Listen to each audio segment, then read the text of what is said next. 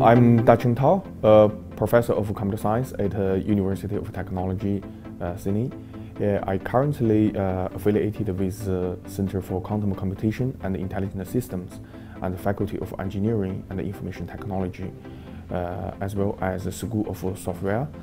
My current research is uh, mainly about uh, applying mathematics and statistics to uh, computer science, but specifically on computer vision, machine learning, data mining, data sciences, geoinformatics, medical imaging, and something related to these areas. My research are at three levels currently. Uh, the first level is the theoretical level. I just uh, try to answer when, why, and how an algorithm works for a practical situation.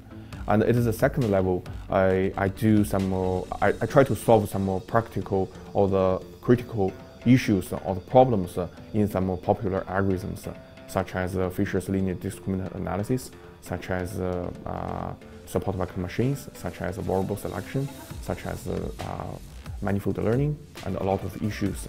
And the third level is the application level.